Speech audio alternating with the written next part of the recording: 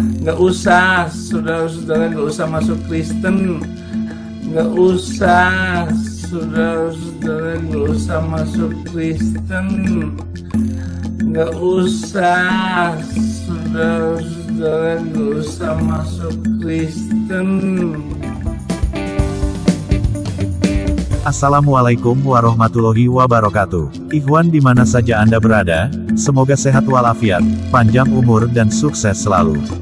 Ikhwan seperti biasa tukang nyimak menyuguhkan video cuplikan. Kali ini tukang nyimak akan menyuguhkan video dari pendeta Saifuddin Ibrahim, yang melarang masuk Kristen. Wow, kenapa Pak Pendeta melarang? Baik Ikhwan supaya tidak penasaran mari kita simak bersama apa kata pendeta ini. Selamat menyaksikan.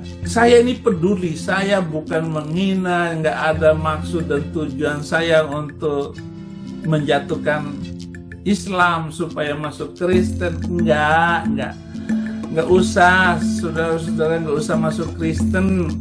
Di Kristen aja banyak penipu, di Kristen saja banyak sekali yang menyakitkan hati saya. Bayangkan alat-alat di gereja saya ini yang baru saya beli diambil anak rohani saya, si Yopi, Nobin, kerjasama, dibawa ke Yayasan Bethesda katanya. Dua hari diangkut alat-alat itu.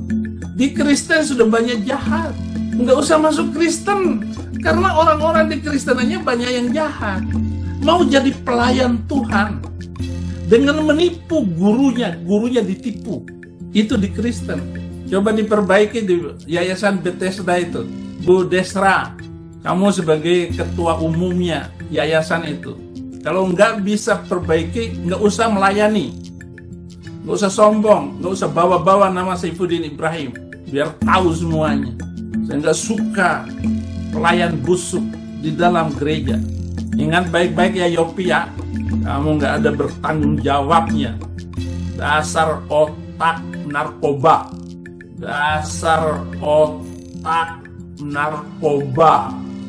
Yopi dengan Nobin ini sama-sama otak narkoba, jadi syaraf otaknya sudah rusak. Coba diperbaiki di Yayasan Bethesda itu. Demikian Ikhwan ternyata gereja pendeta Saifuddin Ibrahim kecolongan alat musik. Waduh kasihan Pak Pendeta, sabar ya Pak, nyantai aja tinggal ngomong, Don. Don, Don, masuk Don. Nanti juga kebeli lagi Pak. Apalagi kan untuk alat nyanyi puji-pujian.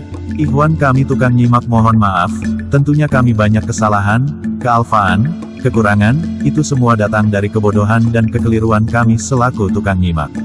Sekian dan terima kasih sampai jumpa di video selanjutnya. Wassalamualaikum warahmatullahi wabarakatuh.